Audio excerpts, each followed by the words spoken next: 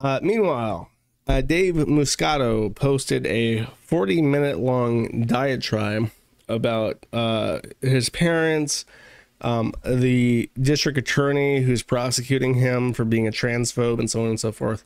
And our boy Dave, who I don't talk about too much, um, but I have mentioned a couple times before, has has escalated all the way up to the CEO of transphobia, uh, Libs of TikTok, has found his video and has clipped a little bit out um, and put him on display for for her followers to make fun of.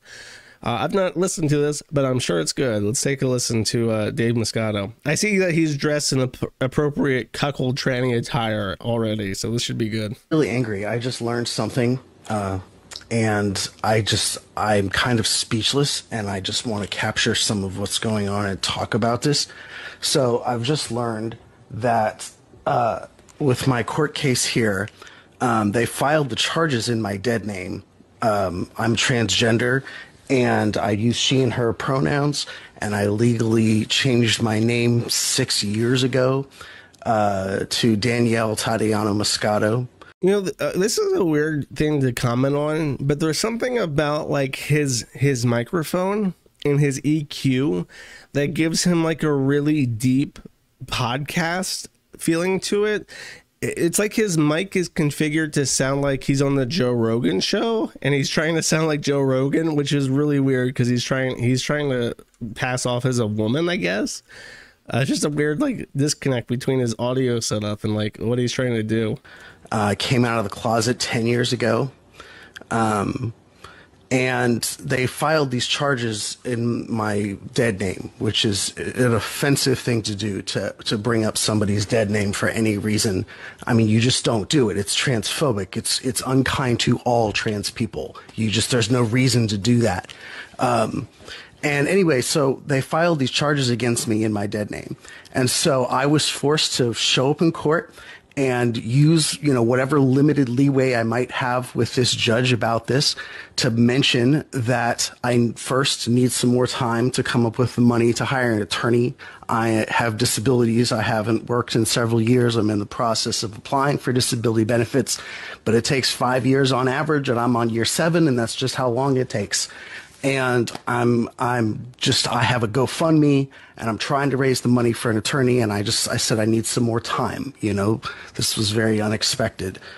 And uh, second, I I apologize for you know being a, a stickler about this, but you're dead naming me in these charges. That is not my name. I legally changed my name 60 years ago. This is offensive, aside from inaccurate.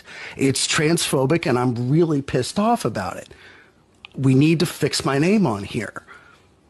So I showed up in court, and I had to explain this, and the judge seemed to, to be can someone explain? I sorry if I missed it. What was he charged with? Is he charged with? I think he's charged with trespassing because he keeps going. He has this weird thing where he's like been living with his rich doctor father that he keeps accusing of rape. And despite living in his father's basement, he was like accusing his father of being a rapist and trying to ruin his professional career. So I think he got accused of uh, trespass because he keeps coming back to the house that he's not allowed at.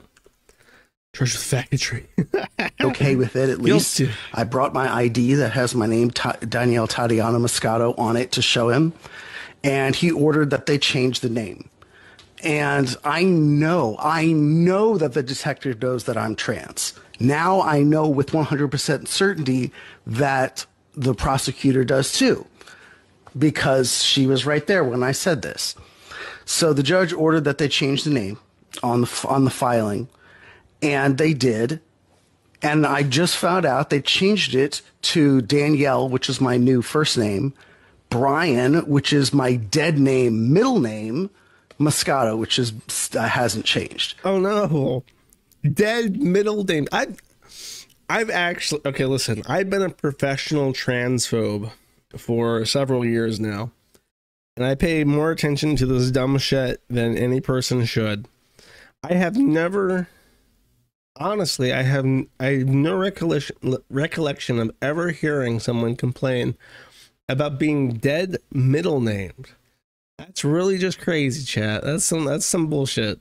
So they made up a third name that is neither the name that the judge ordered them to change it to, nor my actual legal name, Danielle Tatiana Muscato. They changed it to my dead name for my middle name, my new first name for my first name, my actual first name that is my legal first name, and my last name. And I'm just I'm so pissed. Like they they were told to fix this because this is insulting and offensive to trans people and inaccurate. And they didn't. They fucked it up again. There's no way there's this incompetent. I mean, there's no way. You you don't dead name somebody twice by accident in writing. After you're told fix this, we might get sued. I'm so angry. There's no way this is an accident. This, they're sending me a message that I cannot expect fair treatment in this courtroom as a trans woman. Based. That they do not care that they're being offensive to trans people and to me personally.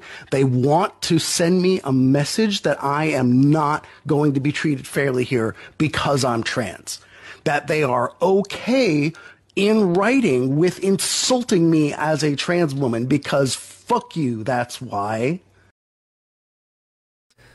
Do you think that Dave feels heckin' validated that um that Libs of TikTok made fun of him? Is that like the most that should be considered like the most gender affirming, like like true affirming um euphoria that you can get like oh my god i'm such a disgusting ogre tranny that i'm and i've ended up on libs of tiktok. That's like that's like making it that's like the elite four. You made it to the the end that's the end game being a gross tranny. You're being you're being made fun of by libs of tiktok on twitter and you have like 40,000 likes on your posts and shit. Thank you for watching this clip. This is the CACA Remember to like and subscribe.